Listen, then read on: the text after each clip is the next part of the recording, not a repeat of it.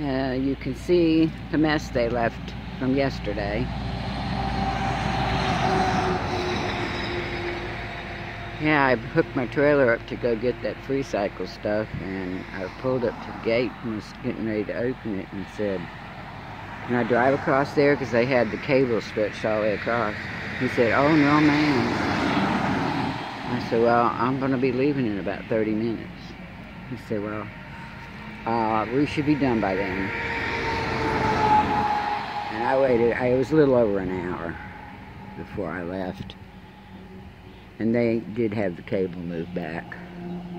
Um, there's a bunch of white stuff right there if you see it. I don't know if that can's still over there or not. I want to see if they pick this up or not. I guess they're going to come back. I don't really know what's going on with all this.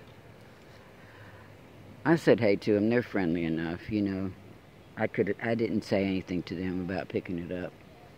I just wanted to see what they're going to do first. Boy, these gnats are driving me nuts. they're all over me.